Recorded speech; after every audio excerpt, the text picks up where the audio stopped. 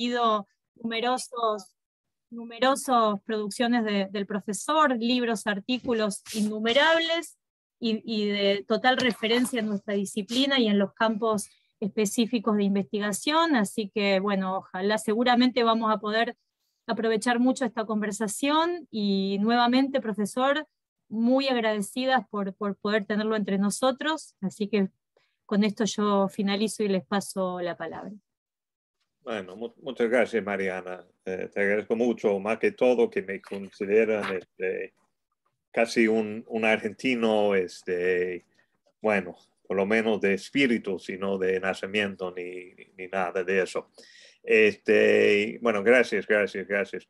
Eh, como dije al principio, me gusta, me gustaría saber un poco más de, de ustedes, o sea, los cuatro eh, alumnos y, bueno, tres alumnos, una alumna eh, que estén aquí. O sea, Anahuel, te conozco, pero si quieres presentarte y luego Ramiro, veo Briseida, ¿sí? Y Andrés y luego puedo empezar este, a hablar un poco de los temas que tengo preparados para ustedes.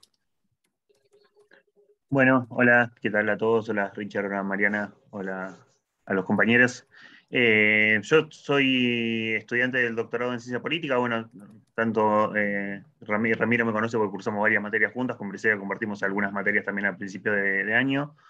Em, soy estudiante del doctorado en ciencia política de UNSAM eh, y bueno, estoy actualmente cursando el taller de tesis 1, así que con un montón de ideas y confusiones en la cabeza actualmente.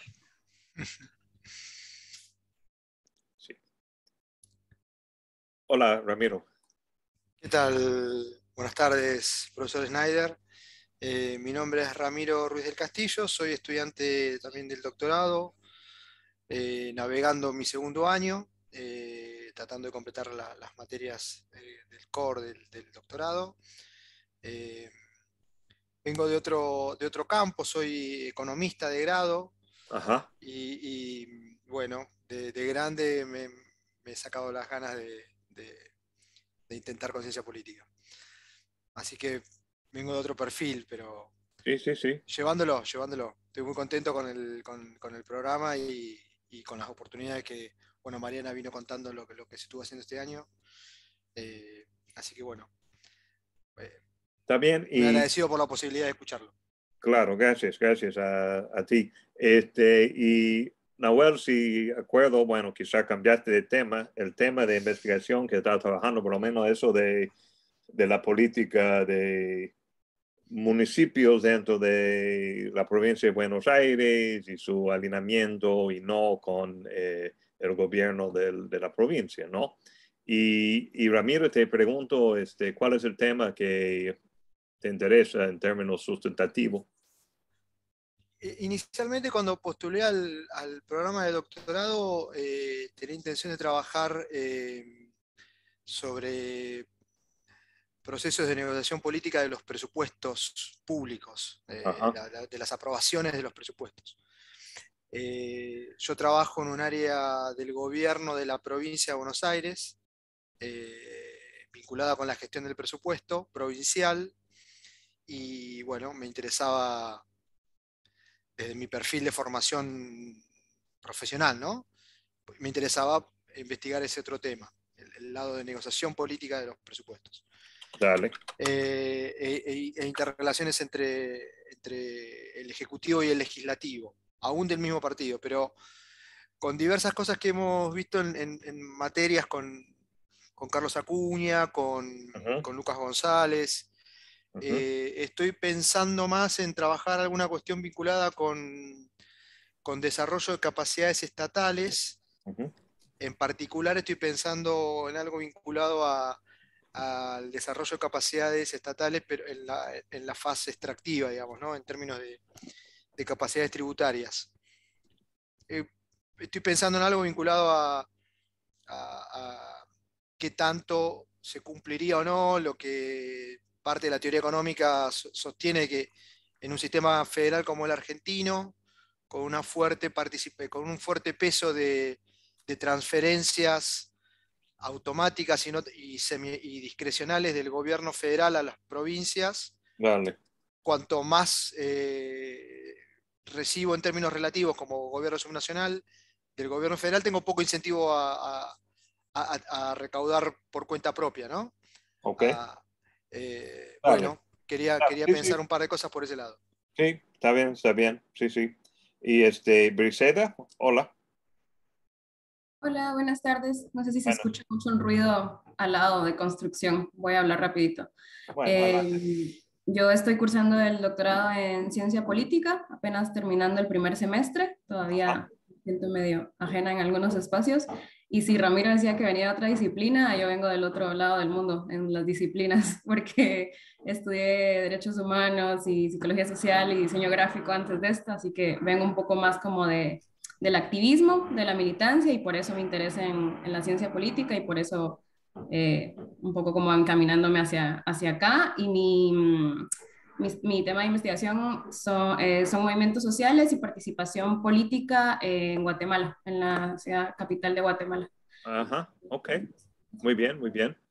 ¿Ha podido eh, viajar a Guatemala o viene de Guatemala o Sí, yo soy de Guatemala. Tengo dos años de estar viviendo en Buenos Aires. Sí. Ajá, bueno, qué bueno. Ok. Y, y Andrés nos actualiza sobre tu trayectoria profesional.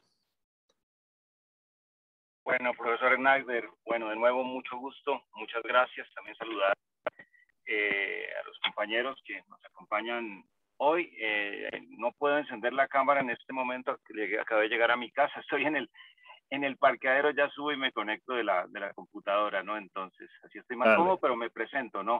Brevemente, estoy establecido, usted ya conoce estas tierras en el departamento del Cauca, en Popayán, cerca de Cali, dos horas, por ahí estuvimos en ese congreso. Yo estuve eh, haciendo el doctorado allá hace rato, mm, pero no me quiero desconectar de la universidad hasta que obtenga eh, mi título y por eso he estado participando en estos eh, seminarios durante el año, desde el año pasado y, este, y este año.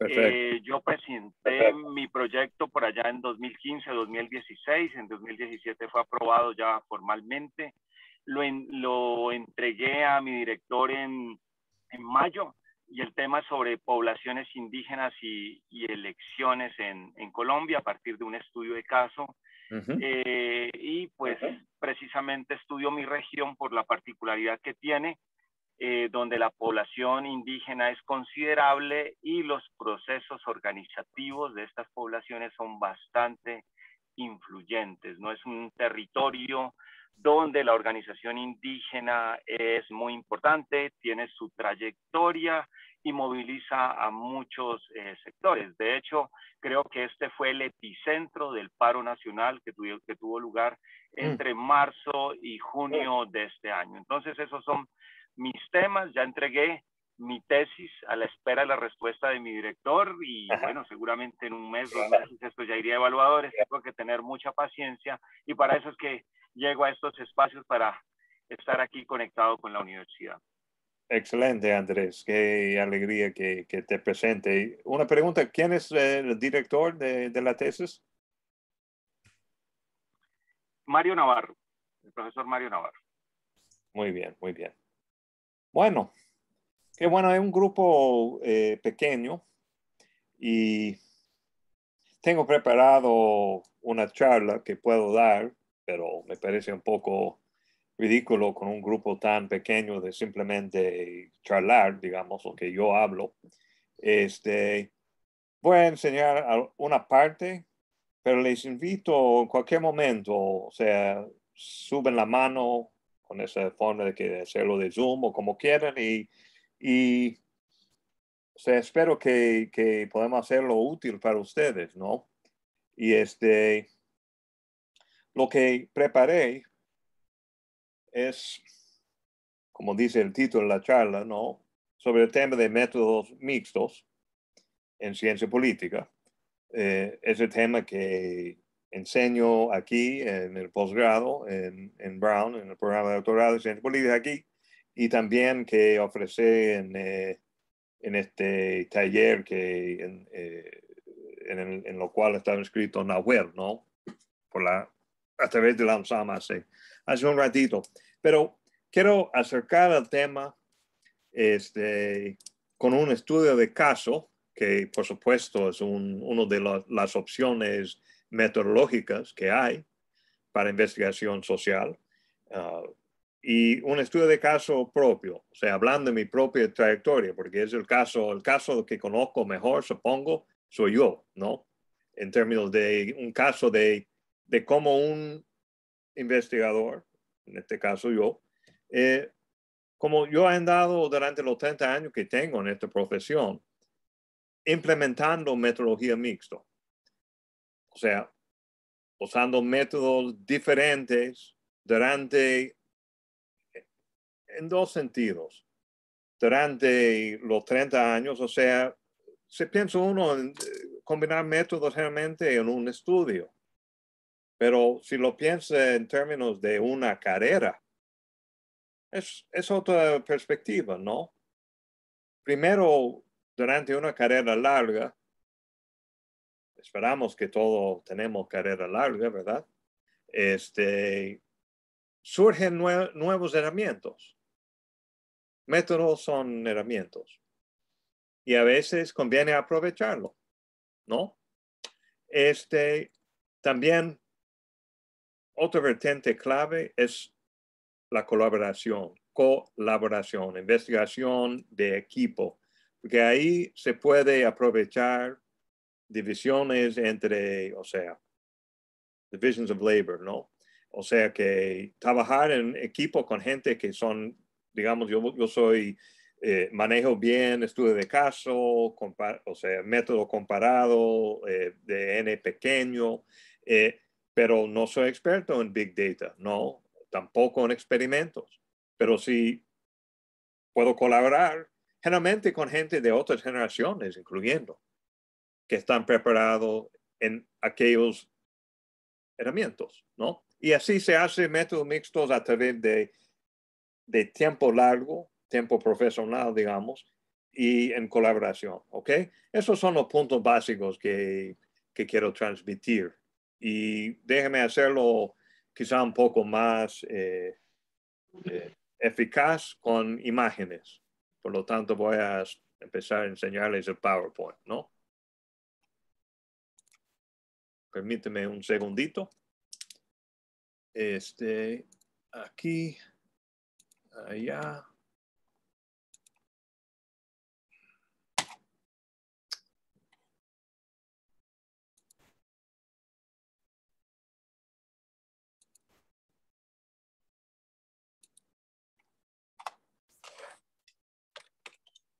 Parece que no, no está este, colaborando bien el compu. Espera un segundito, tengo que armar algo.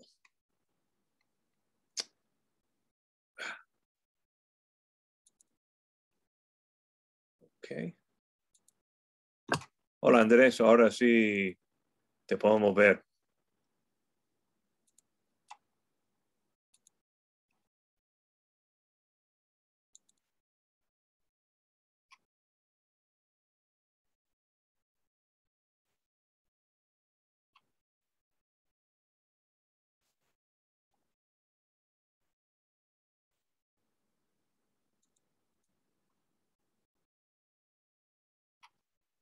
Ustedes pueden ver la pantalla. Se pueden ver este, el diapositivo. ¿Sí? Sí, sí, sí. Ok, excelente. Bueno, esto es el título. Les enseño la, o sea, es la portada de mi página de web personal. Aquí está la dirección. Lo hago porque mucho la materia, obviamente la, la publicación y todo eso está ahí disponible, ¿no? Si quieren eh, seguir el hilo, digamos. Ah, como les dije, tengo, tengo muchos años en la profesión, como se nota. Eso eh, haciendo investigación etnográfica para la tesis de doctorado en la Sierra Norte de Puebla, México, en 1994 o 5. 26, 26 años atrás, ¿no? Dale. Bueno, aquí hay una, una outline de, de los, los temas. Eh, primero, quiero hacer este, tres puntos básicos y luego enfocarme el grueso de,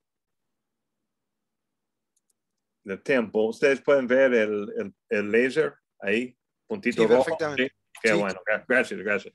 Nunca se sabe lo que se ve al otro lado de la pantalla, es extraño, ¿no? ¿Quién sabe? Eh, Misterios de Zoom. eh, totalmente, totalmente. Misterios y sorpresas. Y es de, bueno, primero hay que recordarles que metodología, métodos, perdón que está en inglés, no tenía tiempo de ponerlo en castellano. Este, es solo un aspecto de, de la investigación, ¿no? O sea, otros vertientes, eslabones clave de la investigación, o sea, primero, ¿cuál es el tema? O sea, ¿cuál es el problema que va a estudiar, no? O sea, muchas clases de metodología en ciencia política toman por dado que usted ya tiene una pregunta que vale la pena estudiar. Pero, ¿de dónde vienen las preguntas? ¿Cómo se selecciona el tema? Es muy complicado eso, pero bueno, es, es, eso es aparte de metodología. O debe ser aparte. Aquí eh, se critica, aunque se practica mucho, lo que se llama este, methods driven research. O sea que, que el tema de la investigación está deter- determinado por el herramienta, no al revés. Y un ejemplo sería alguien que solo maneja big data y solo puede, dice, bueno, yo solo manejo una, un herramienta y solo voy a estudiar temas que puedo estudiar usando esta metodología. Si no hay big data válido y útil, no lo voy a tocar. Eh, yo no estoy de acuerdo con esa posición. Este, porque ciencia social, investigación, o sea, los problemas que vale estudiar, o sea, nos da la realidad, ¿no? No debe estar detenido este, o limitado por, por eh, o sea, por metodología, digamos. Este, y hay otra perspectiva eh, que Adam Jaworski, un colega muy senior, dice que yo soy un oportunista metodológico, así se autodefine. ¿Qué quiere decir eso? Oportunista metodológico. Y por favor, as you know, Spanish is not my mother tongue. I'm trying my best, pero párenme si, si no entienden, si hay una falla de sistema de cerebro, o sea, si el chip de castellano, de español se, se quema, no me avisa. Si empiezo a hablar inglés sin dar cuenta, no párenme. Este, bueno, ¿qué quiere decir eso? Un methodological opportunist, ¿no? Eh, es que él dice, yo uso los herramientas que corresponden, que, que, son más útiles para las preguntas que quiero estudiar, no al revés.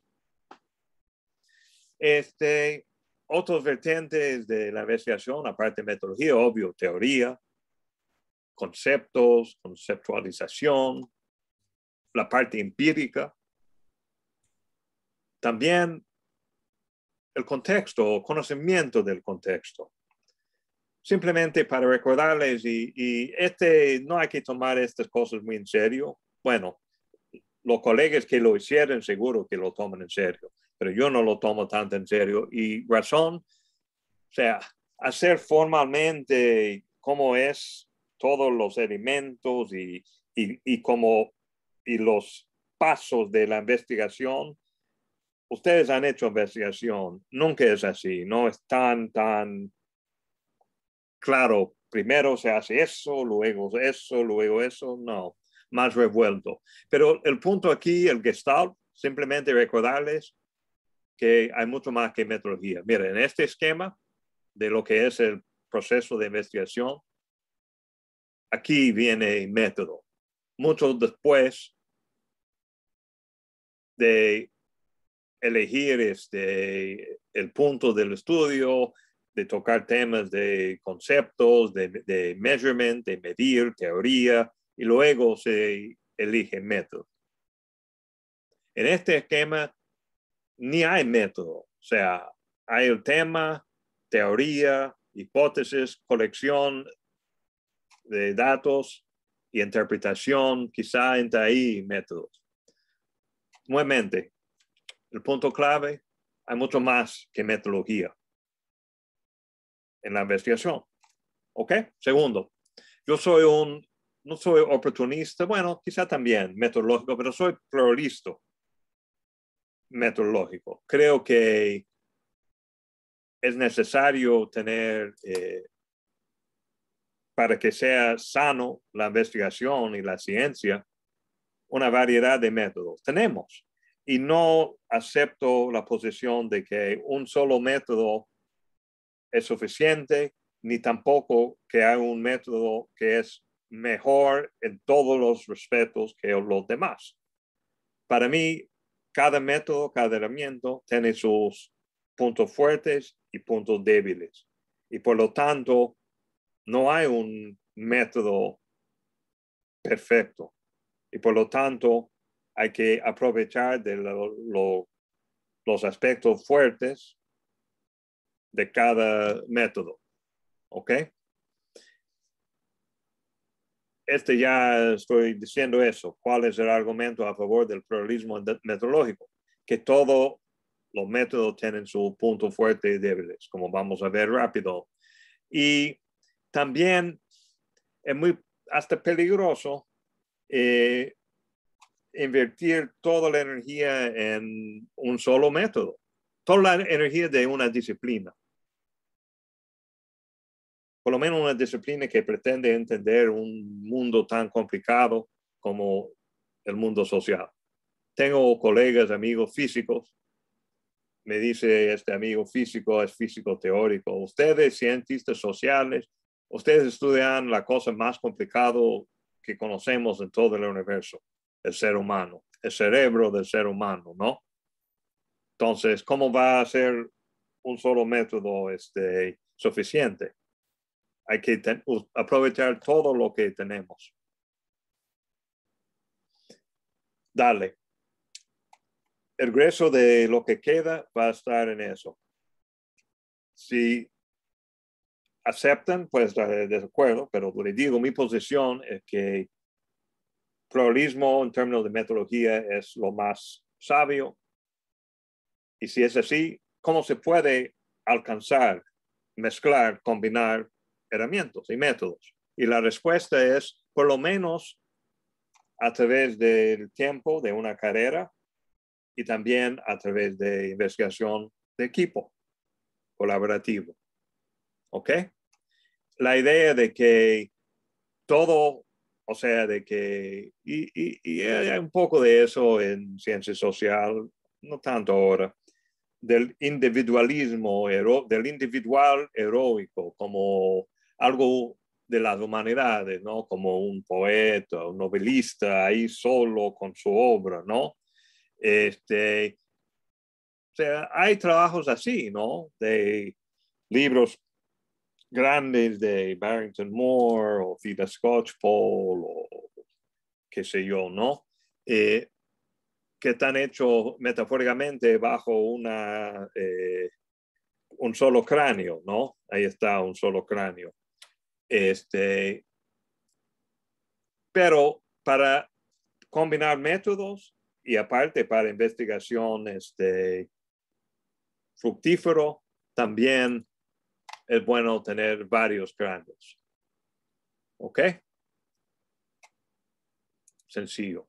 Bueno, aquí hay una pequeña este, carta de opciones metodológicos para ciencia social sea, cuando digo método mixto, mezclar métodos, estoy hablando de combinar estos. Sí, Ramiro, pregunta, adelante. Un comentario muy breve, que es eh, que, la, por lo menos la última sesión en la que yo asistí fue con Ernesto Calvo, hace ahora un mes más o menos, y su convocatoria era en el mismo sentido, viniendo él mucho más del lado cuantitativo hacia la misma convocatoria, a, mezclar métodos y al trabajo en grupo, eh, colaborativo. Una cosa que me quedé pensando es la, enorme productividad de, de, Calvo, ¿no? porque contaba la cantidad de trabajos en los que estaba a la vez eh, inmerso y, y la verdad que me resultaba envidiable, pero, eh, pero lo que destacaba era eso, la posibilidad de, de poder entrar en muchos temas de interés para él, justamente por poder dividir trabajo con otros. Sí, exacto, exacto. Sí. Era solo un comentario al pie, digamos. está bien, está bien. Este, estoy de acuerdo con eso. Este, aquí hice un pequeño este, esfuerzo de mapear mi trayectoria a través de método. Este, dos, bueno, empecé aquí hace 32 años, luego aquí y poco a poco aprovechando estos herramientas. Punto clave de los de, de con un solo cráneo, así, solo puedo decir que eso y eso. Y obvio, siempre estuve de caso están en casi todo el trabajo que he hecho, que hago, casi. O sea, en una forma. Pero todo eso para hacer con Big Data, Quanti y un poco de experimento, en y encuesta, por supuesto, colaboración.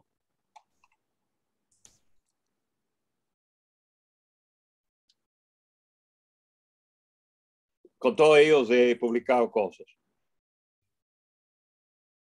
y no estoy poniendo ahí, o sea, o sea, digamos, libros con capítulos redactados con, o, ediciones especiales de una revista con contribuyentes, porque ahí sería demasiado, demasiado. O sea, sí, en mi currículo, si ve mi currículo, están toda la gente. ¿Qué se, qué se puede observar de ellos? Son muchos, ¿no? ¿O no? Algunos lamentablemente eh, difuntos, como Guadalupe eh, Rodríguez, este, algunos más grandes que yo, bastante, Dietrich Röschemeyer, que nació eh, en 1931. la mayoría son pares o más jóvenes. O sea que hay generaciones, ¿no? Aquí este Mahoney, yo Mahoney, nos conocimos el primer día del posgrado. Eh, Jerry Monk, Gerardo Monk, un argentino, Ravi Babnani, colegas juntos en otra universidad antes de Brown, hace 20 años, ¿no? Agustín Geralde, Jasmine Sierra, dos argentinas, este, una ex alumna mía, Jasmine de Brown, está ahora en, Notre Dame, Agustina, una colega junior. Aquí hay dos alumnos de posgrado eh, actual.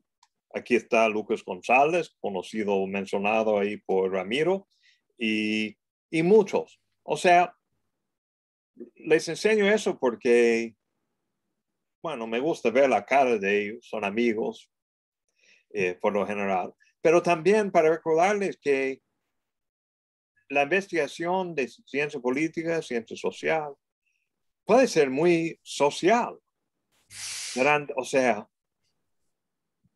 sea, y otro tema en términos humanos que me gustaría compartir con ustedes, este algo lindo de Philip Schmider que hizo en un resumen de, no sé, esos artículos que, que hagan un resumen de la historia de, del campo, ¿no? Y de la disciplina o subdisciplina.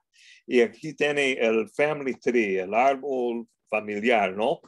De la política comparada. Sí, con Aristóteles ahí al fondo, hasta aquí son escuelas, ¿no? Nombres de, de personajes y eso. Aquí algo de, de, de, la uva. Alguien la uva argentina armó eso. Muy lindo, ¿no? Que no sé, no es un árbol, pero te da una idea. Un mapa puede ser un, una mapa incompleta y todo eso, ¿no? Aquí hay este, Juan Lins, Bob Dole, etc. Entonces, para ubicarme a mí mismo y para, para que ustedes me ubiquen, armé también my family tree, o sea, mi árbol familiar disciplinario personal, que, que es aquí, ¿no?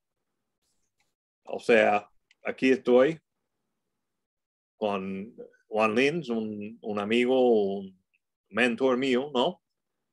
Y, o sea, estos son David y Ruth Collier. David era el, mi asesor de mi tesis de doctorado, pero David era alumno de, de Philippe Schmitter y Felipe era alumno de Ernie Haas, también yo trabajé directamente con él, estaba en mi, no estaba en el comité de la tesis formalmente, pero era uno de mis mentores, ¿no? Este, Cida Scotchpole, que era importante para mí en la licenciatura, ella era alumna de Barrington Moore Jr., entonces me considero, debo, yo soy un, eh, un nieto de Barrington Moore Jr., ¿no? Un nieto académico de él a través de CIDA, ¿no? Y, y Juan, un asesor mío realmente, era alumno de Marty Lipset. También CIDA era alumna de Marty Lipset en, en el posgrado. Entonces también soy, soy nieto por, por, por a través de Juan y a través de CIDA de, de Marty Lipset, ¿no? Y, varios otros. Ahí está Guillermo Dono, pongo a Guillermo porque Guillermo este, este, era alumno de, de Juan y también de Al Steppen en Yale, y Al era alumno de Juan. Entonces, yo y Guillermo, formalmente, aunque Guillermo tenía la, tenía la misma edad que Al, nacieron los dos en 1936, este, ya fallecieron todos, eh, lamentablemente, pero formalmente yo y Guillermo somos nietos de Juan Lins, ¿no? En una forma, porque Guillermo estudiaba con Al, ¿no? Este, quien era alumno de Juan. Aunque también Guillermo estudiaba directamente con Juan, pero más con Al, cuando estaba en Yale, ¿no? Así que todo, todo así. Y entonces, en términos de métodos, ¿Alguien puede caracterizar eh, los elementos que están representados aquí y los que no están representados?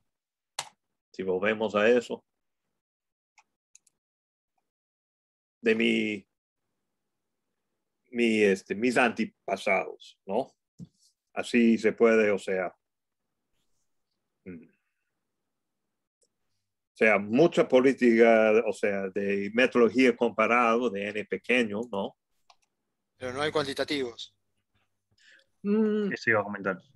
Eh, bueno, eh, cuidado, porque Barrington Moore Jr., lo conozco, lo ubican a Barrington Moore Jr., Social Origins, Orígenes Sociales, sí. Dictadores, Democracia, ¿no?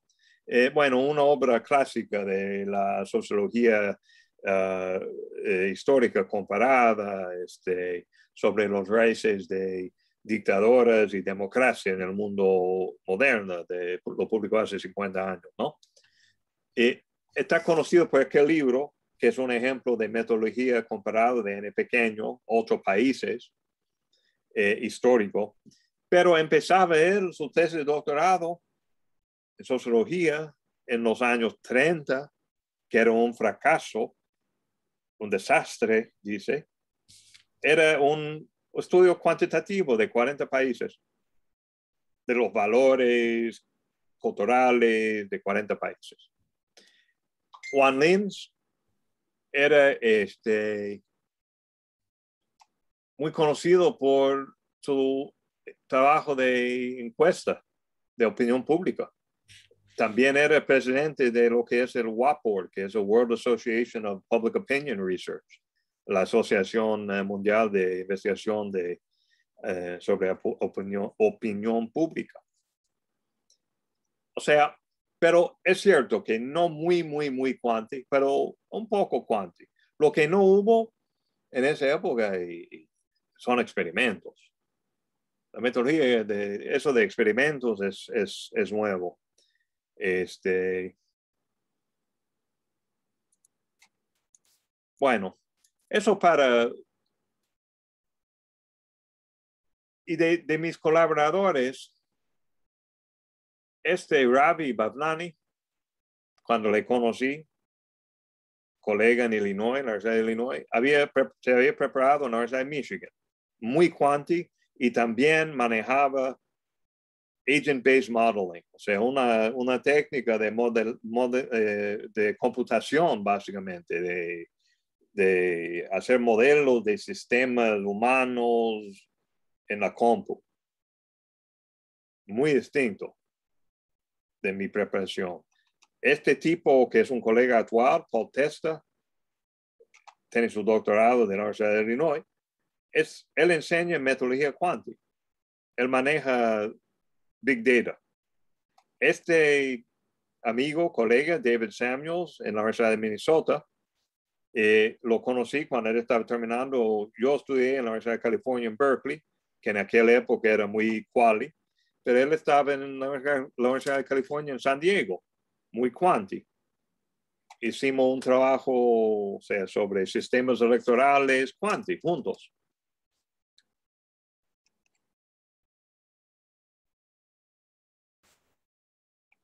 Bueno, como le dije, empecé con estudio comparado de n pequeño. Les voy a enseñar eso, recuerdas, para enseñar a través de, un estudio de caso, mi trayectoria profesional, cómo se puede aprovechar en etapas distintas de la carrera, de la vida, en investigación diferentes, combinaciones distintas de esas opciones de la carta de, de métodos. ¿Ok? Entonces, empecé en 89, 92 con este, una investigación de de transiciones desde dictaduras personalísticas, ¿ok? Este, ¿En dónde? En este país, algunos que ni existen. Zaire no existe. Ahora es el Democratic Republic of the Congo, es el Congo, ¿no?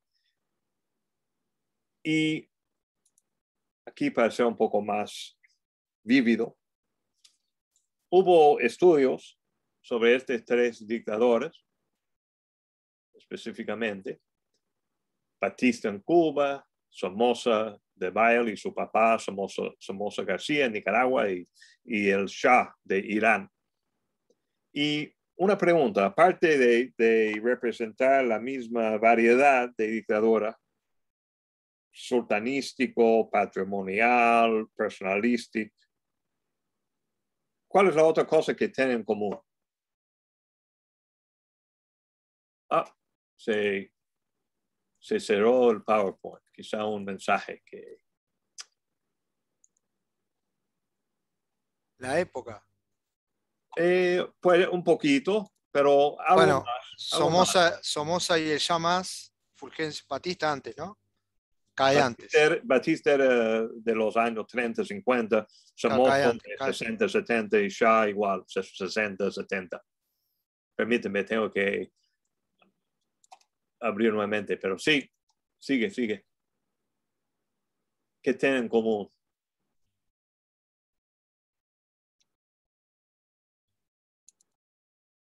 ¿Qué más tienen en común? Somoza, Nicaragua, el Shah de Irán y Batista de Cuba. ¿Cómo acabaron? Ah, de manera violenta o por revoluciones. Eso. Revoluciones. Exacto. revoluciones. Exacto, Ramiro. Perfecto. Muy, muy bien. Sí, sí. Este.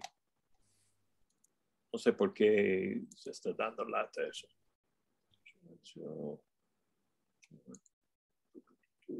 Ahí. ¿Puedes ver nuevamente? Sí, sí. Se, se apagó todo, no sé por qué. Sí, exacto. Perdón. Todos cayeron por revolución social, revoluciones. Ahí son, eh, ahí está Fidel, no sé dónde está el Che, ahí está el Che, parece, quién sabe. Y ahí están los sandanistas y, bueno, el Ayatollah Khomeini y, los clérigos eh, islámicos, ¿no? En 1979 Nicaragua e Irán y en 59 Cuba. Entonces, hubo teoría existente que dijo, esta variedad de dictador personalística, o sea, de que hay un líder máximo que, que básicamente todo funciona a su discreción, no está limitado por eh, ninguna otra institución, ninguna institución, ninguna ideología tampoco, todo por su propia este, voluntad, básicamente. Y la idea era, bueno, mira, que este tipo de, régimen parece que es muy vulnerable a la revolución. ¿Por qué? Porque estos tres casos cayeron en revolución. Pero hay otros casos. Aquí está Alfredo Stroessner de Paraguay, el dictador Mobuto. Stroessner entró en el poder en 1954. Yo estaba escribiendo, haciendo investigación en 88. Él había estado en el poder 35 años. Mobuto entró en el poder 65, 20 y tantos años fin de los 80. Duvalier, padre, Papa Doc y hijo, y Marcos, que estaban fuera del poder, en el mismo año cayeron en 86. Pero ¿qué tienen en común estos cuatro dictadores? Si estos tres tienen en común que cayeron por revoluciones sociales, ¿qué tienen en común ellos? Que son transiciones a sistemas más democráticos, o, o, por lo menos con, con, elecciones en el medio en algunos casos. Puede ser, yo no sé realmente, o sea. Bueno, el relato. Puede, puede ser, pero más general, no cayeron por revolución. revolución. Murieron en el poder, de hecho. desconozco el caso de Marcos, pero murieron en el poder, digo, Stresner y Papadoc, por lo menos son los casos que más conozco. Papadoc sí murió en el poder. Stroessner no murió en el poder. Salió, yo estaba escribiendo mi tesis de licenciatura, ¿no? En 88, 89 hablando de Stroessner como un caso de un régimen personalístico que estaba con una larga trayectoria y estable, ¿no? Y, llega un día y abro el, New York Times en febrero de 1989, un golpe militar en Paraguay y ya no está Stroessner. Uf, tengo que cambiar un poco, por lo menos los tensos de los verbos, desde presente y hablar de Stroessner en el pasado.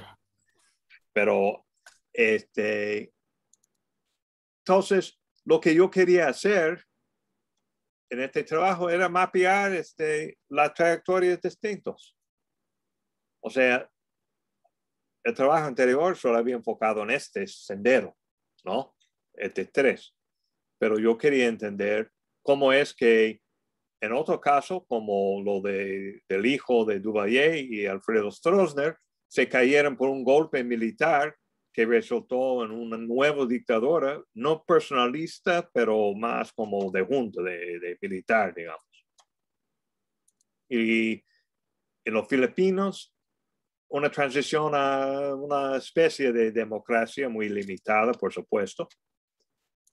Y por lo menos hasta el fin de 90, seguía estable y en el poder este Mobutu, ¿no? Entonces, eso. Ahí empecé como investigador.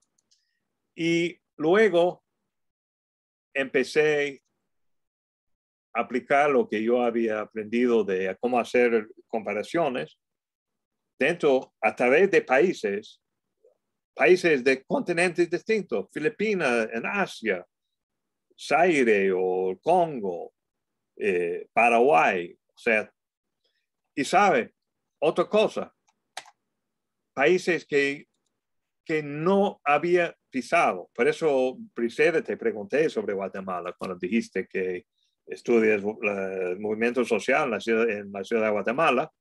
Quería saber, ¿has ido ahí, bueno, eres de, eres guatemalteca. Yo, yo nunca había ido a ningún de estos países. Será un estudio comparado histórico desde la biblioteca. No hubo internet, o sea, la biblioteca. Todo literatura secundaria.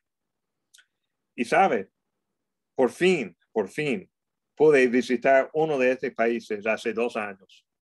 La última vez que fui a Argentina tenía la oportunidad de, de ir una semana a Paraguay. 30 años después de, de hacer esa investigación.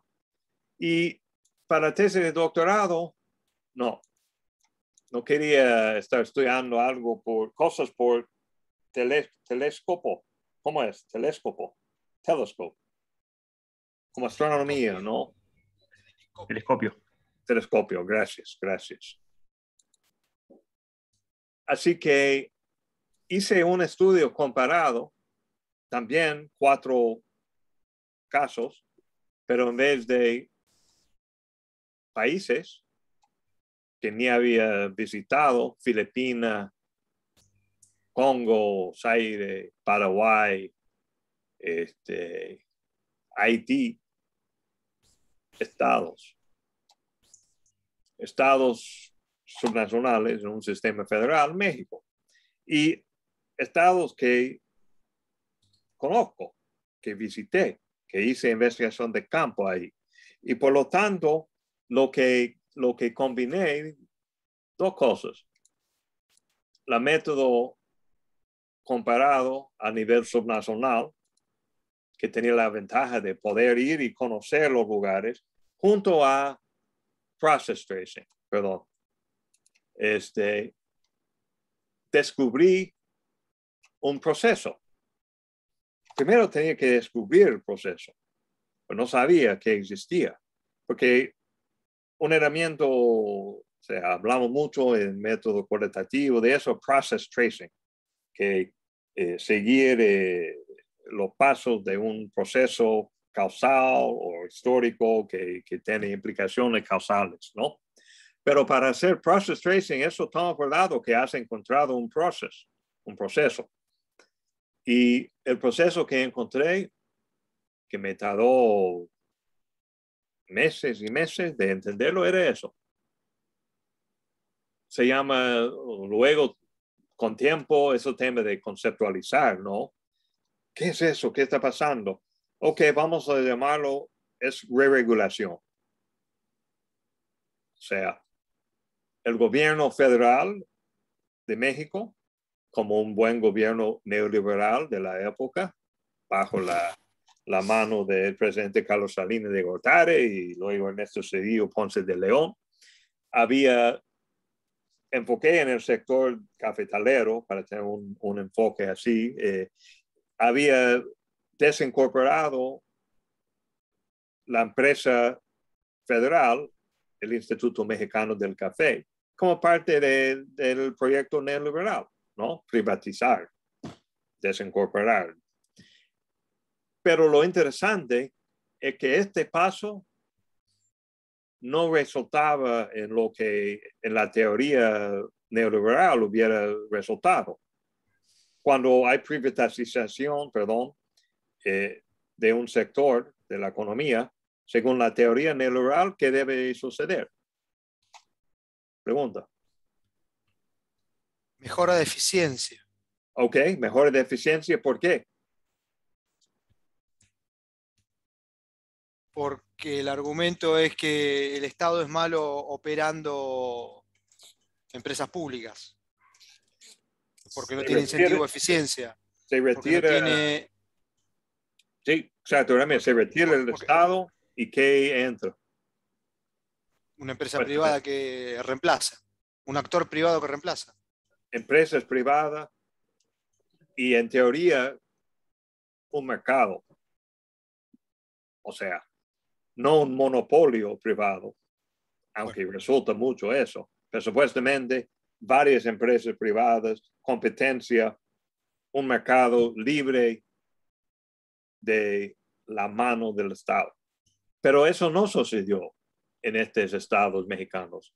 Cuando salió el hueco que abrió este, el gobierno federal retirándose, se entró los gobernadores y los gobiernos estatales con proyectos de regulación y proyectos diferentes, algunos que estaban inclinados más a los pequeños productores y otros más a los grandes.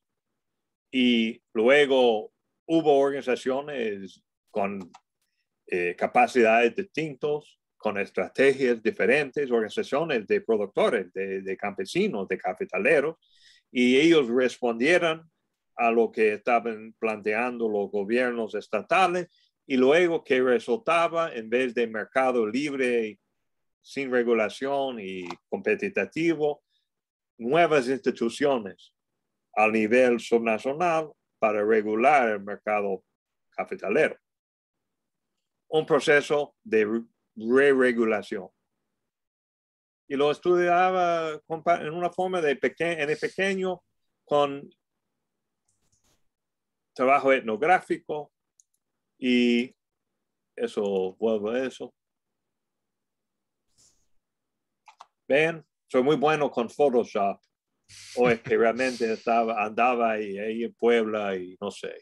Creo que todos están en Puebla, Puebla. Es la organización independiente de Totonaca ahí por Quetzal en el norte de Puebla. 1995.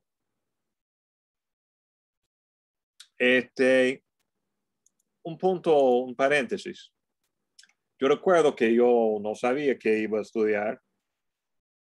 Uno de, no voy a nombrarle, eh, uno de mis asesores, hubo un, profesor en Berkeley donde yo estaba estudiando, un economista, economista eh, eh, rural del, del, agro, Alain de Janvry, que tenía con Betty Saduley un proyecto de amar muchas cifras, tenía una base enorme de cifras cuantitativas, de encuestas a nivel de domicilios, de campesinos en el sector regional eh, de ejidos de México.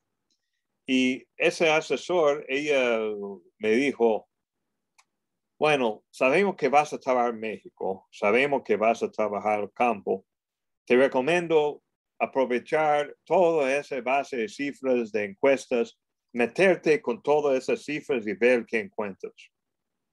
Y yo no acuerdo si lo intenté, creo que lo intenté y para mí, por lo menos, en aquel momento era una recomendación horrible. O sea, no, no pude, o sea, no, eso no era el paso para mí dado mis capacidades, o sea, meterme a ver resultados crudos de encuestas de campesinos y qué voy a, qué voy a ver, no, no, no pude, no vi nada.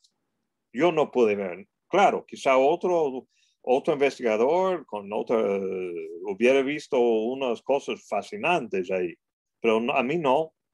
Para mí, yo tenía que irme, tocar fondo, tocar el lugar, hablar con la gente, y tener la suerte de encontrar que hubo esas nuevas instituciones. Eso era la cosa. yo, yo recuerdo un momento, en 1993 fui a Oaxaca y estaba, eh, tenía la oportunidad de viajar con un amigo que trabajaba con cafetaleros, exportando café eh, mexicano. Y estaba en Oaxaca al lado de un cafetalero en el, camioneta manejando y me mencionaba una nueva instancia, porque estamos hablando del viejo instancia del gobierno federal. Me dijo, hay un nuevo consejo, el Consejo Estatal del Café de Oaxaca.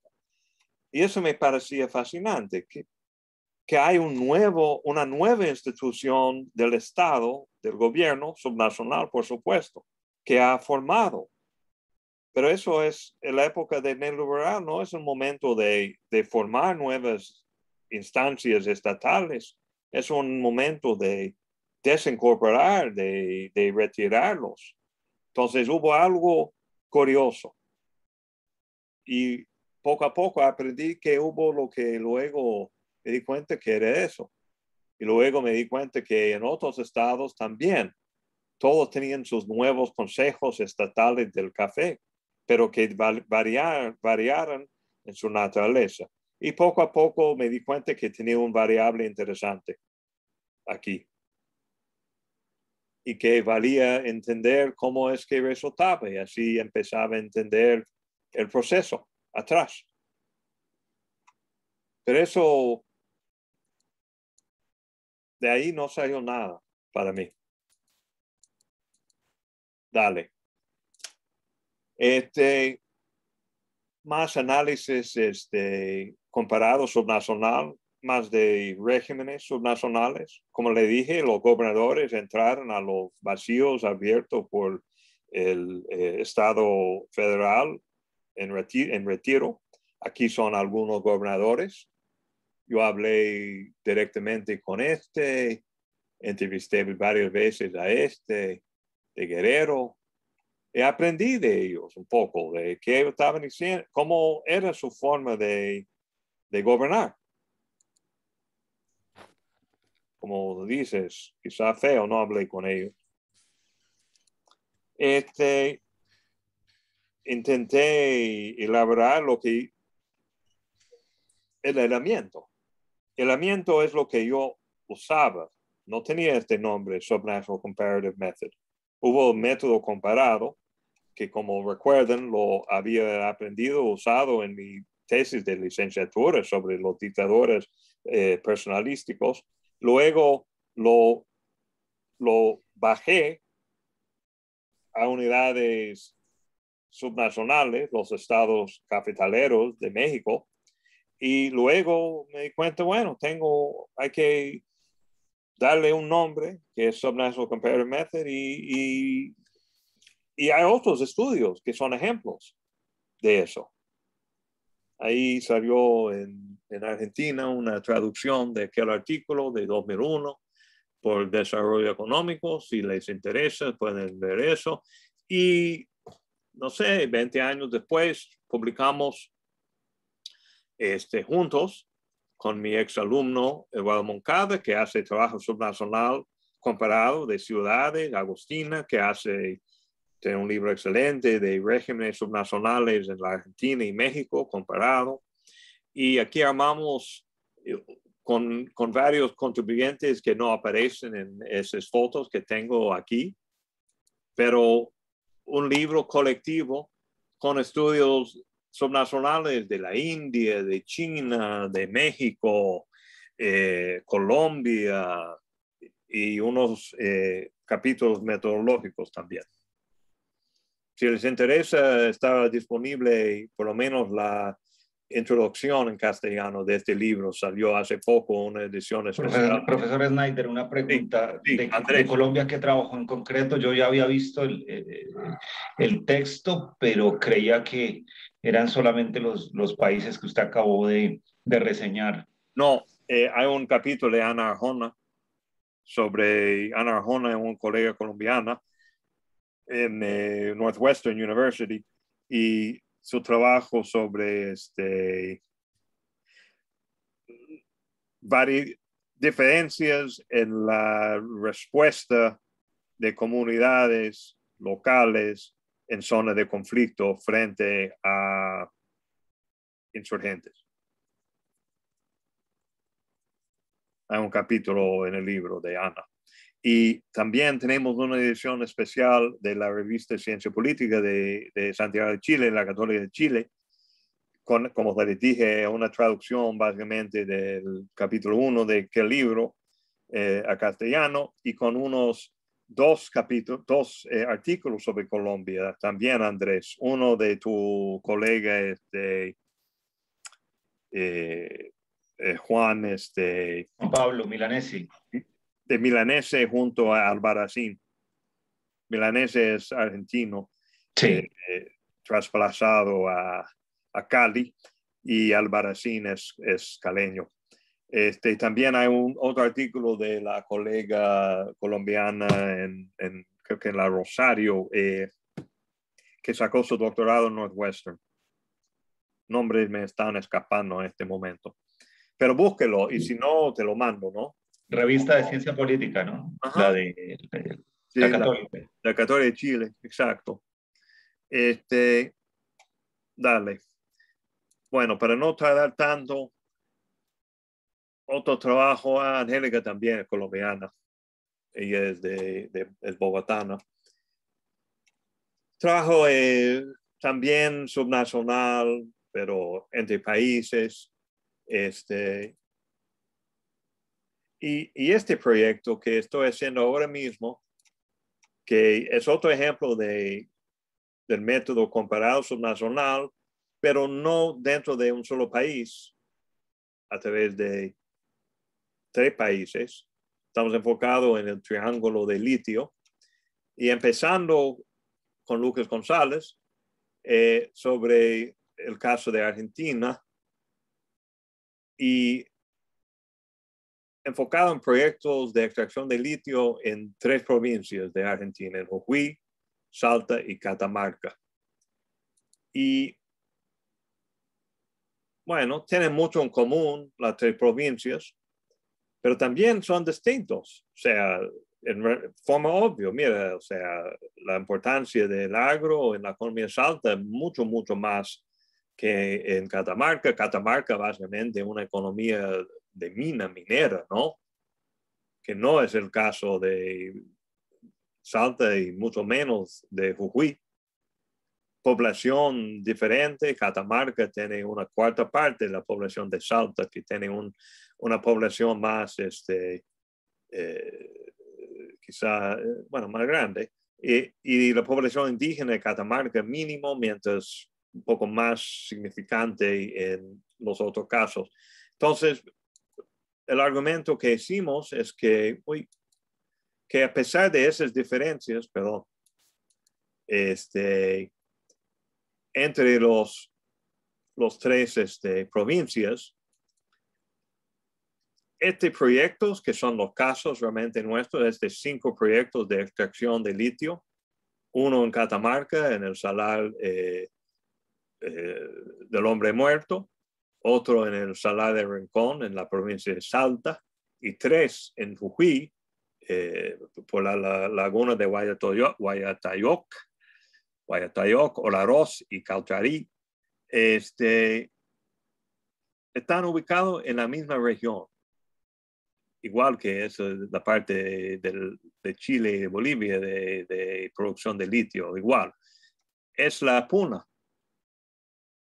Y la Puna es una región que tiene una ecología muy árida, poco agua, población indígena atacameña, aunque también hay algunos, eh, este, se me olvida en este momento el otro grupo, pero bueno, la idea es que aunque hay diferencias entre las provincias, hay comunalidades entre la zona que cruce la frontera de las tres provincias.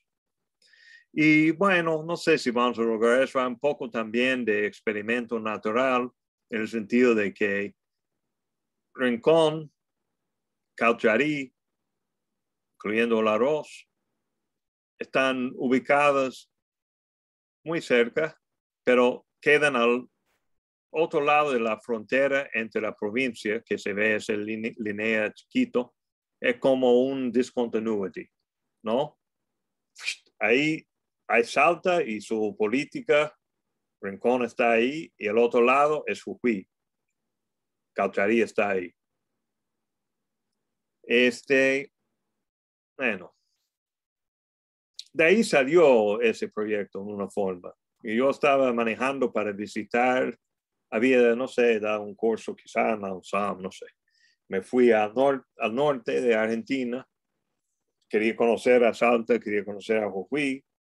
En el viaje a Jujuy dije, bueno, me conviene pasar por el Salina Grande, conocer el Salar. Y en el camino vi eso y vi, no puedo escaparme de la política siempre está ahí. ¿Y qué es eso? Minería y con muerte, extracción a la Pachamama, no al litio minero, pero aquí alguien en vez de sí a la Pachamama puso no a la Pachamama encima, como contradiciendo eso. Entonces, me di cuenta que hubo un tema caliente para investigar. Y sí hay. Y esta es otra técnica que no sé, o sea, no he podido volver ahí. Lucas tampoco, no sé si ha ido nunca, no sé si ha ido ahí. Creo que sí, ha ido a Sabina Grande. Pero es impresionante la cantidad de, de información y de observaciones que uno puede hacer ahora remoto. O sea, este obviamente, esa señora eh, es la posición que se ve aquí. Bueno, sí a la Pachamama, ¿no?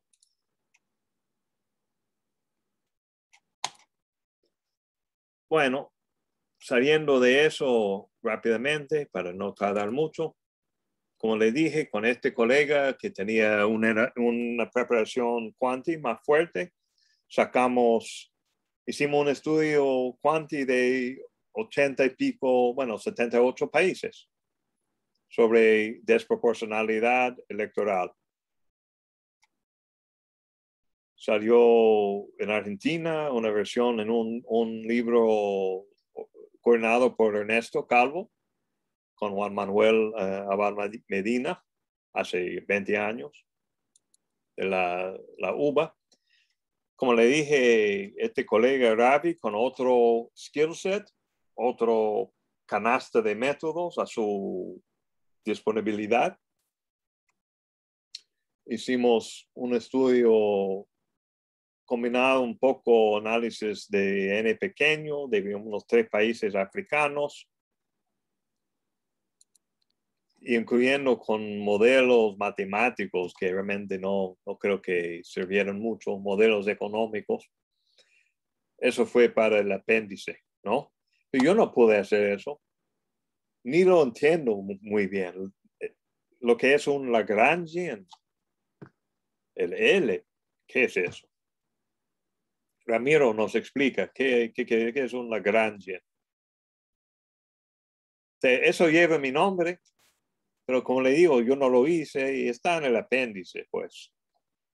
Es un, proceso, es un, es un mecanismo para buscar la optimización de resultados o resultados óptimos dadas ciertas restricciones. Suena muy, muy útil y un poco abstracto. Suena abstracto, sobre todo porque se, se, se, se, sostiene sobre el supuesto de que el comportamiento eh, del, individuo es eh, siempre eh, predecible y racional, muy de homo económico, digamos, ¿no? Entonces eso es lo que, bueno. lo que tiene atrás. Pero permite construcciones de, predicciones para tratar de contrastar, de, probar. Dale, dale. Para algo que no voy a decir, bueno, la verdad, ni lo hizo Ravi. Recuerdo que pagamos a un alumno de doctorado de economía de la Universidad de Illinois para amar eso. Y salió. Trabajo etnográfico, una etnografía del campo de la ciencia, de la política comparada con Jeremón, pero también un estudio cuanti del mismo tema, con un base de datos de 300, basado en 300 artículos publicados en las revistas más importantes en inglés de la política comparada.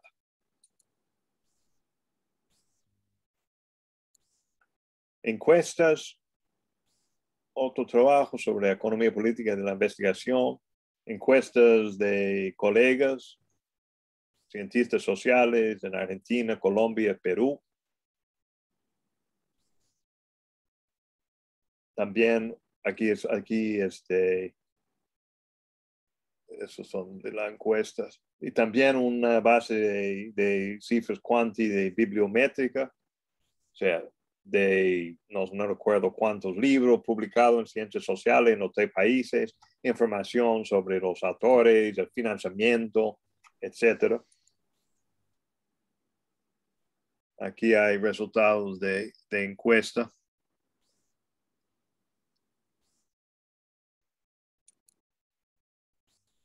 Un estudio con un N enorme, 30 mil, un enfoque empírico comparando no países como Congo, Filipinas, Haití, Paraguay, etcétera, sino varios dentro de una sola ciudad. La ciudad en donde vivo, donde trabajo, no vivo aquí ahora. Providence, Rhode Island. Tema variedad, eh, variación en la provisión de seguridad ciudadana con alumnos.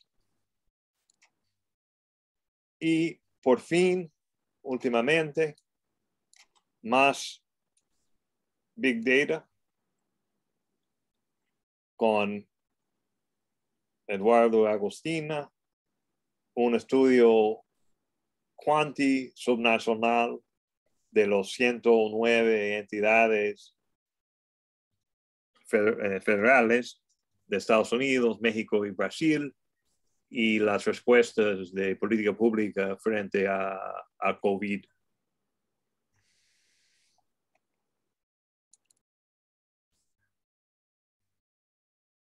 Ahí están representaciones del, del Big Data. O sea, son medidas diarias para 109 este, entidades, pero como 10, 11, 12 variables. Entonces llega un N enorme. Y un poco de esa etnografía remota. O sea, encontramos, nos interesaba que nuevamente, ¿qué estaban haciendo los gobernadores? Y los gobernadores estaban haciendo esfuerzos de coordinar la respuesta a nivel de los estados mexicanos frente al, COVID. Dentro de, de un partido político, específicamente el PAN, que no sale aquí, aquí es aprovechando una instancia asociativa que existía antes, que es la Asociación de Gobernadores del Partido Acción Nacional. Y ahí están en su reunión durante el pandemia, la pandemia. Se ven coordinados hasta que sus trajes, viendo la política pública. Y aquí hay otra reunión interestatal de coordinar políticas públicas de otros gobernadores que son de partidos diferentes.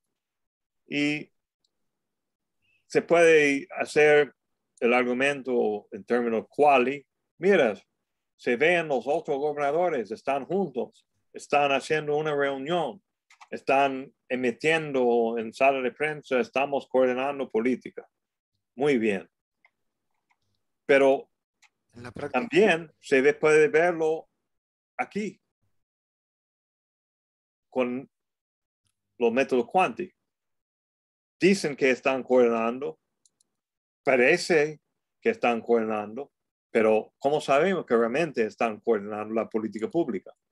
Bueno, en esta medida de la severidad de la política pública frente a, la pandemia, vemos todos los estados mexicanos, son 32, y aquí hay una discontinuidad que es la fecha 5 de junio, la fecha que sucedió esa reunión. Y si es verdad que están coordinando, debemos ver que la política pública de esas entidades mueve junto comparado a todas las otras entidades que tienen gobernadores que no participaron en esa coalición. Y así se ve eso. Esa curva que se mueven juntos a niveles distintos, se empiezan a bajar la severidad de su política pública, que es lo que acordaron hacer los gobernadores de esos nueve. ¿Cómo se define stringency? ¿Cómo? severidad. severidad. Severidad, severidad. Sí. Una política más severa frente a la COVID sería, este, o sea, cuarentena mandatoria. Cuarentena fuerte. Forzada, sí, obligatoria. Mucho encierro, ok. En vez de discrecional, por ejemplo. O eh, se cierre solo una porción de empresas y dejan abiertos muchos, más severos que se cierran casi todos, ¿no? Así. Hay un índice. Este, este trabajo lo hicieron en los tres países porque no había respuesta federal coordinada. Eh, porque uno podría pensar que el caso argentino es de una, sobre todo en 2020, es de una respuesta federal mucho más coordinada. Este... más allá de, la identificación política o de las identidades partidarias queríamos, gobernadores, este, Queríamos incluir a Argentina y, la razón por la cual no lo pudimos incluir era falta de, cifras, básicamente, Okay. No, no por eso, queríamos incluir eso. Y hay dos, hay un índice muy útil, dos índices, uno de Oxford, que es un índice de stringency, de severidad de la política pública subnacional frente al COVID. Y otro que está armado por la Universidad de Miami. ¿Por qué? Porque ahí el presidente de la Universidad de Miami es el ex ministro de Salud de México, Julio Frenque, y su mujer eh, es una experta en la salud pública, que es la directora del instituto que armó esa base de cifras. Y todavía no tenía Argentina, entonces no, no, no hubo la posibilidad de incluirlo. Bueno, yo termino, perdón, le hablé mucho, pero quería compartir con ustedes mi viaje en una forma. Y ha sido un viaje largo, eh, pero un viaje que me ha permitido conocer y utilizar todos estos métodos. No mencioné mucho el tema de experimentos. En uno de los artículos sobre COVID, perdón, ¿dónde está COVID? Más allá. Eh,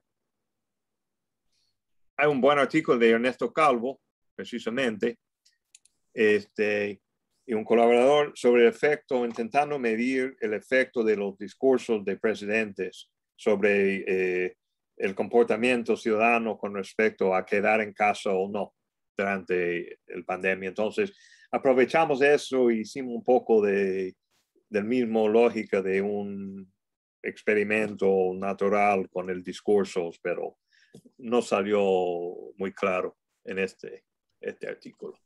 Así que, conclusiones. Les recomiendo recordar que hay varios métodos que van a ser nuevos métodos, seguro, nuevas opciones en la carta. Esta carta hace 20 años, esta parte de investigación experimental no estaba presente realmente. Y les recomiendo contemplar, combinar métodos, pero no hay que hacerlo solo o sola. Y tampoco hay que hacerlo en un solo estudio. Se puede hacer a través de muchos estudios durante una carrera larga y junto a muchos y muchos colegas de países diferentes, de generaciones distintos, de formación diferente, de perspectivas distintas. Y es bonito. Bueno, no 100%, a veces no es, o sea, como hay dos, hay varios dichos, ¿no? Uno es que todos los, hay dos autores de un libro o una obra y cada quien dice que ha hecho 75% del trabajo, ¿no? Bueno, y a veces eh, como matrimonios eh, puede ser mejor y peor de momentos, ¿no? También mezclado. Pero bueno. Preguntas, comentarios, dudas, inquietudes.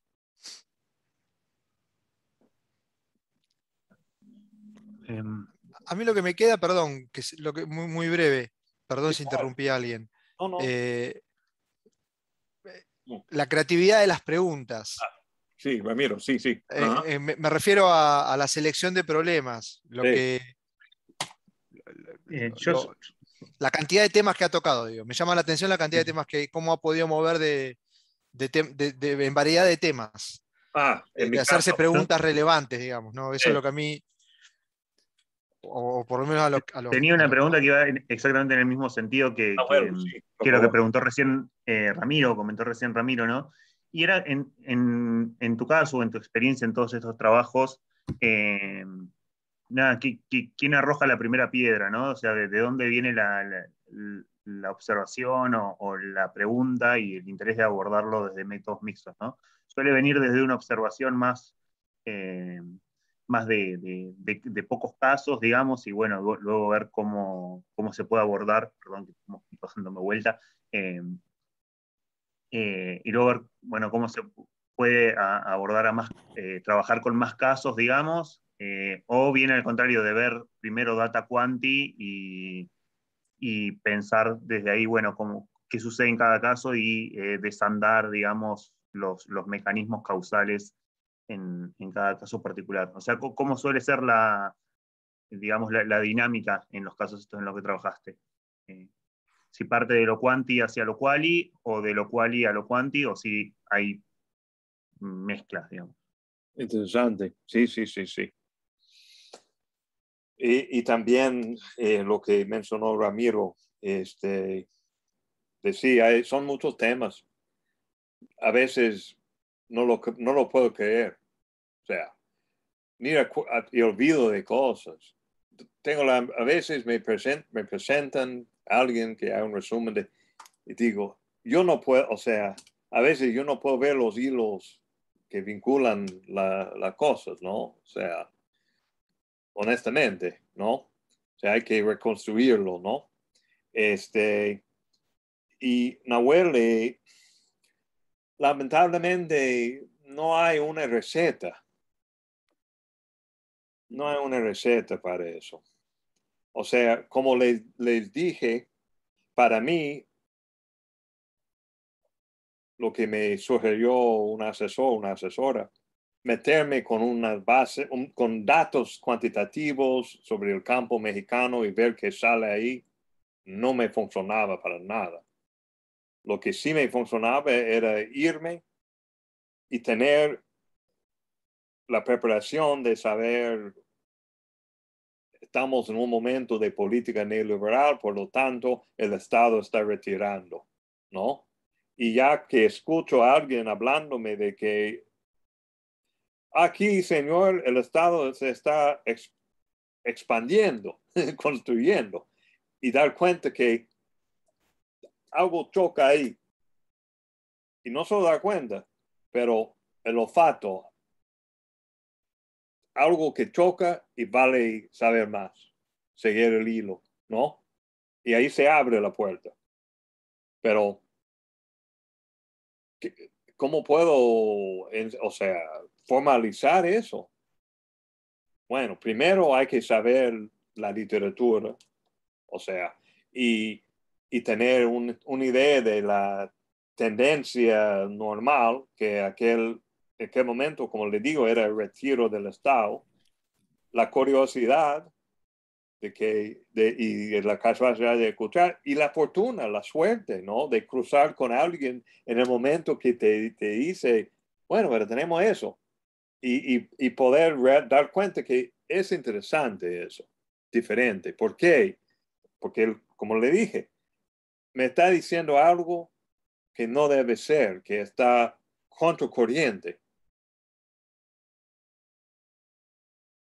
El estudio con Samuels de, de malapportionment y todo eso, ¿dónde está eso? Con Dave. Yo recuerdo, yo estaba en, en Harvard, tenía un postdoc en 97, 8. Él llegaba de, no sé, de San Diego, entrevistado por una posición que no consiguió me dice, oye, voy a estar ahí y nos juntamos, ¿no? Nos juntamos, fuimos a tomar una cerveza y no sé, de ahí en este lugar salió la idea, vamos a hacer este proyecto. Creo que era él que dijo, no sé por qué estamos hablando de desproporcionalidad electoral, pero ahí el punto para empezar era que no hubo un índice. No hubo un índice eh, cross-national de países. Y eso era lo que hicimos. Eso era la contribución, básicamente. Medir proponer una fórmula que no era novedoso realmente, pero aplicarlo y luego hacer unos testear, probar unas hipótesis de qué explicaba la variación entre países en términos de su nivel de mal apportionment. Pero eso era lo que hicimos. Y el insight ahí era que no hubo una, un índice. En lo, lo de COVID, no pude estudiar COVID hace 10 años. ¿Por qué? No existía. O sea, eh, no somos como los matemáticos. No sé, no, no entiendo la, la matemática. años que están ahí dentro de la disciplina y, y si hay que trabajar y solucionarlos, ¿no? Somos ciencia social. La realidad obliga, la realidad cambia, ¿no? Hay cosas nuevas. Y para nosotros, llega el COVID, es obvio, dado el trabajo con Agustina, con Eduardo, mi trayectoria de más que 20 años en, en explorar la política dentro de países, es obvio que una pandemia requiere una perspectiva subnacional. ¿Por qué? Porque es un fenómeno que es, como casi todos los fenómenos, muy despareja su presencia, su dinámico dentro de un país. Ah, está muy alto el nivel de casos en Jujuy, pero en Santa Cruz está abajo y ahora está muy feo en Oaxaca, pero no toca Chiapas. Y la respuesta política pública también varía dentro de países, quizás no tanto en Argentina, pero también en Argentina. O sea, en país federal, en México hay lugares con política pública muy severa y otros muy flojos. Requiere una perspectiva subnacional. Entonces, entramos en eso y encontré, encontré esos índices Quanti que le mencioné, no como Samus y yo que lo hicimos, pero en este caso hecho por los colegas de Oxford, los colegas de la Universidad de Miami. Entonces me di cuenta, ¿sabe qué? Agustín y Eduardo somos muy buenos. Agustina, tú manejas un poco Quanti, ligero, más que yo, quizá más que Eduardo, pero para meternos en eso, hay que tener gente que realmente puede manejar este cifra enorme, como mi colega Paul, un joven que enseña la metodología Quanti actual, ¿no? Y, y él necesitaba nosotros, porque él ni pudo pronunciar Oaxaca, ni Guerrero, ni menos eh, Belo Horizonte o Recife, quién sabe, ¿no? Este, y no pudo aprovechar cosas como eso, como yo lo pude hacer. O sea, voy en internet, ¿qué están haciendo este estado? Ah, eso, ¿qué es eso? Lo leen, ah, ok, es coordinación entre estados y eso es algo interesante para explicar, ¿no? Este, y como le dije, Nahuel, el tema de donde empecé yo con esa trayectoria larga, eran este, con esos dictadores que todo había enfocado, toda la energía estaba aquí. Caminos, trayectorias, salidas de, este tipo de régimen aquí. Pero yo vi, mira, hay eso, hay eso, hay eso, hay trayectorias distintas. Y hay que explicar eso, no hay que solo explicar eso, o no, o por qué no eso, pero por qué eso y por qué eso y eso y eso. Y aquí tengo sea, los variables que yo propuse, no sé si tenía razón o no, pero lo publicaron y así queda, ¿no? Así que, este, y eso con Angélica, otra vez ella llegaba de México eh, haciendo un poco de investigación y me dijo que México había hecho una reforma a la Procuraduría General de la República, la justicia, que cambió desde un esquema, hubo tres eh, subprocuradurías, pero antes, ¿ves cómo está organizado? Las entidades tiene, está bajo la jurisdicción de, de A, este, este Tabasco, ¿verdad? Sí, Tabasco, luego Veracruz, hasta eh, es Chihuahua, no, Sonora, Sonora, ¿verdad? Que no son colindientes, ¿verdad? O la C, Baja California Norte, Coahuila o, Nueva León, no sé, eh, Chiapas, ¿sí? Y eh, es Yucatán o Quintana Roo o Campeche. Bueno, quién sabe, uno de ellos, ¿sí? Pero antes estaba de otra forma. La A estaba al norte del país. B, todas las entidades del centro. C, del sur. ¿Y por qué cambiaron las jurisdicciones así? Era una forma para prevenir, este, supuestamente, para combatir corrupción y que estaban capturados por las organizaciones criminales, la Procuraduría. ¿no? Porque la mapa del crimen, si ve, no lo tengo aquí para enseñarles, se correspondía básicamente, hubo los carteles del norte, del mes, centro y del sur. Entonces, reorganizarlo así, la idea era, bueno, vamos a hacer eso para, para combatir la corrupción de la Procuraduría, ¿no? Pero eso resultaba en un aumento de violencia. Pero el, lo que me parecía extraño era esa reforma, que cambiar la mapa. Y luego pudimos hacerlo así, de este tipo de modelo, ¿no? Que el status quo antes de este esquema, cuando hubo A de norte, B todos los estados del centro y C del sur, era así. Un protector, que es la, el estado, y banda criminal simétricamente en un arreglo que llamamos este, State Sponsored Protection Brackets. Pero luego lo cambian así y es como hacerlo así. Dividen, hay una nueva mapa de jurisdicciones jurídicas y, y esa mapa, este, perdón, este, corta. Eh, ahora tiene, corta el territorio de las bandas criminales. Y ahora tiene una banda criminal que antes tenía solo un procurador, ahora tiene dos o tres. Y el argumento era que eso tiene un, un impacto en el nivel de violencia. Pero la pregunta, Nahuel, ¿de dónde surgió eso? Es que llegaba desde el campo con una observación de una reforma que parecía muy interesante. Empezamos ahí. Y ahora, ok, pero eso sí quizá explica por qué hay más violencia en esa área que en aquel, ¿no?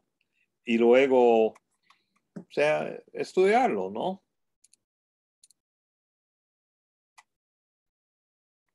Y este era un insight que venía de antes, ¿no? Que simplemente que legalidad y violencia son vertientes distintos. Es un punto conceptual. Que la idea de que lo ilegal siempre es violenta. Como eso.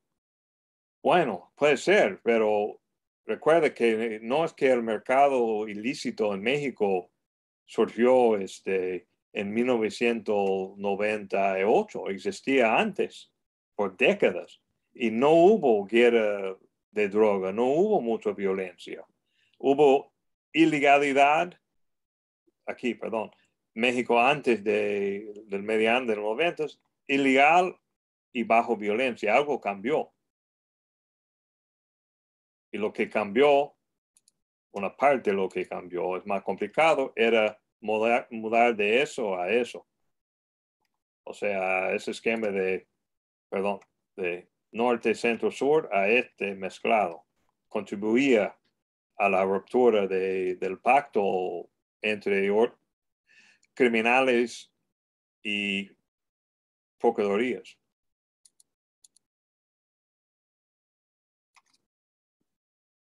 Bueno, no sé, Briseda, Andrés, ¿quieren preguntar algo o comentar algo antes de cerrar? Que veo que, estamos, está Mariana de, vuelta, me imagino, para, para señalarnos que, ya dejamos de, de conversar. Briseda, Andrés. Yo tal vez solo, bueno, re interesante ver una trayectoria a través de la experiencia personal y que no haya sido tan, tan eh, estructurada desde lo teórico. Creo que a mí en lo personal me ayuda a, poder vincular más mis curiosidades personales con la posibilidad de estructurarlo a través de la investigación. Entonces, nada, me pareció eh, como muy motivador. Así que gracias por compartirlo. Bueno, me alegra, me alegra. Algo que, o sea, hay capital humano muy variado de nuestro campo. Yo, yo tengo un poco de déficit de atención, desorden, ¿no? yo no puedo hacer todo en una carrera estudiando una sola cosa. Y no lo he hecho.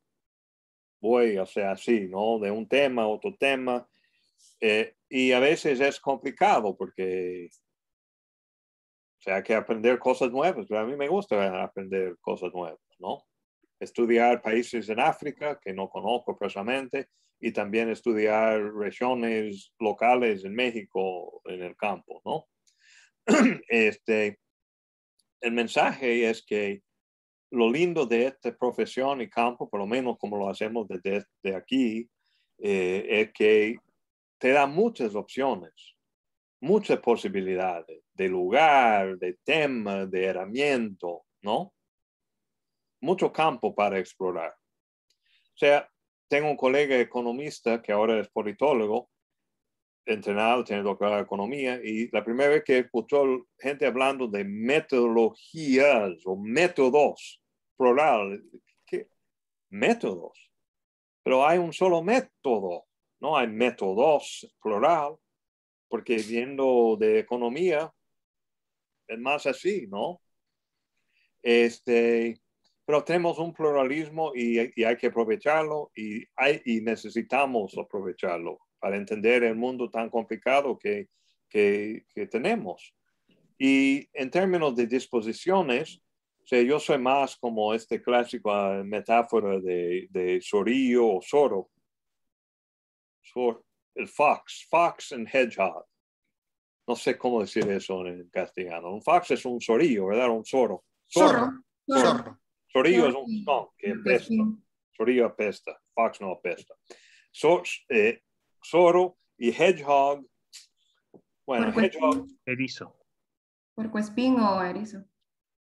Dale. Bueno, la metáfora es que el zorro va a un tema, a otro tema y me inquieto eso, mientras que el otro se maneja un solo tema, se queda ahí y, y, se puede hacer eso también. Hay gente que toda la carrera estudian un, un tema y, y ya, ¿no? Quizá usando un solo método, pero si la disciplina no puede ser así.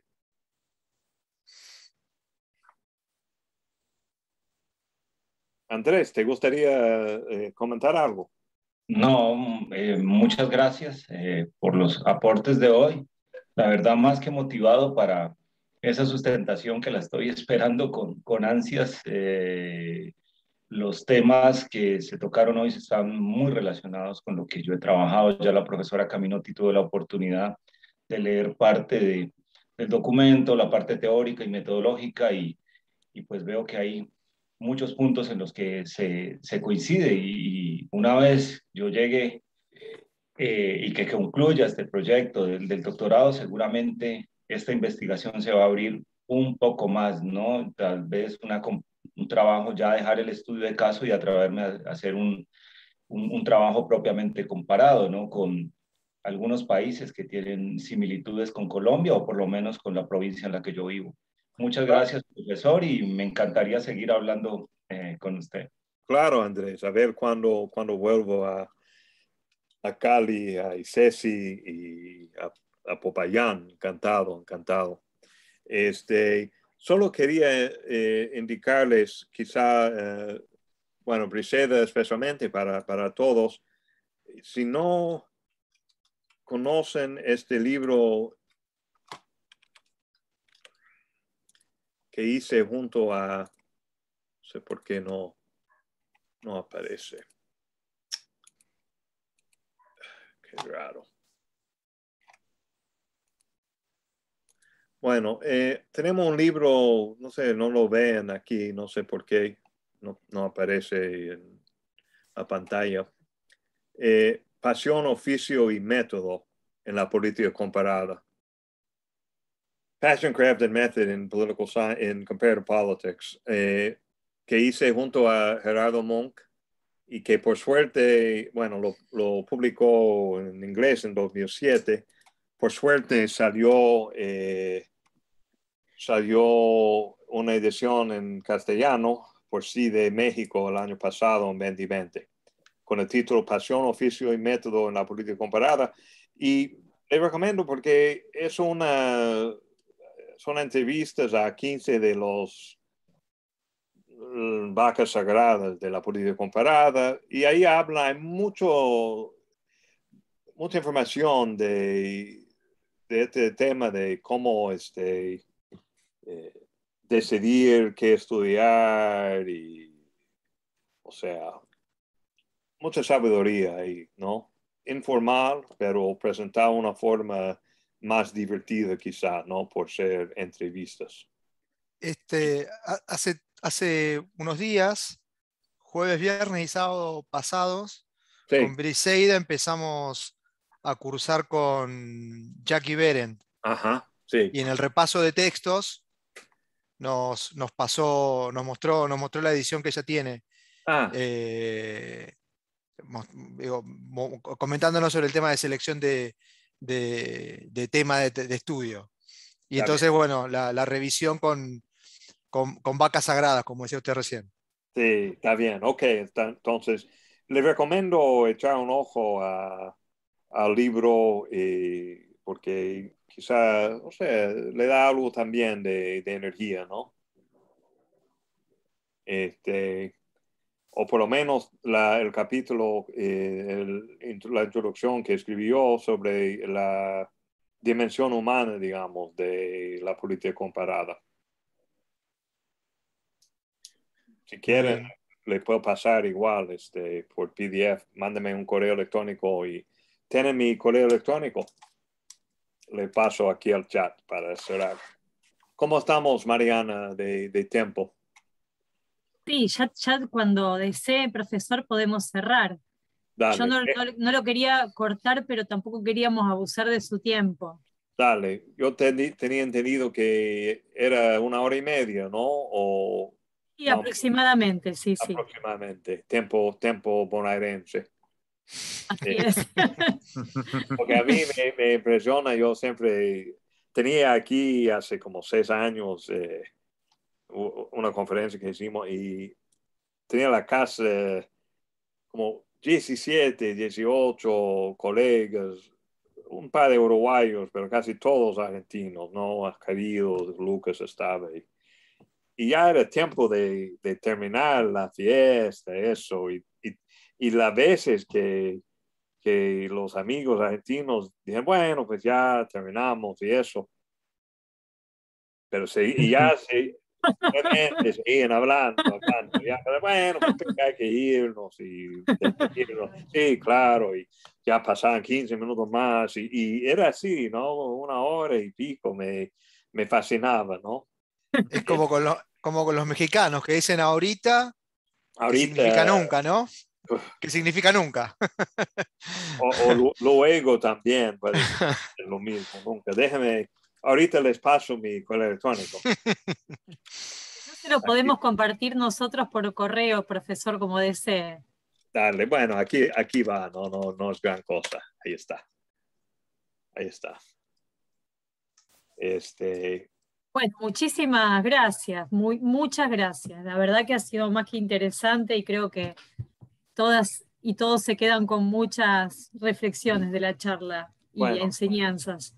Gracias y, bueno, espero que les haya sido útil. Qué gusto de en verles nuevamente Nahuel y Andrés después de, varios años y un gusto conocer a, a Mariana, Briseda y a Ramiro a través de, de medio y luego ahorita nos podemos conocer eh, en el mundo normal, quizá, ¿no? Así es. algún, día, algún día, ¿no? Bueno, muy, muy buenas gracias y muy buenas noches a, todos y estamos en contacto y, siempre eh, esperándolo presencialmente, profesor. Gracias, muy amable y hasta luego. Un abrazo, buenas noches. Hasta luego. Por todo. Gracias, Richard. Que terminen el día a todos. Adiós. Adiós, adiós.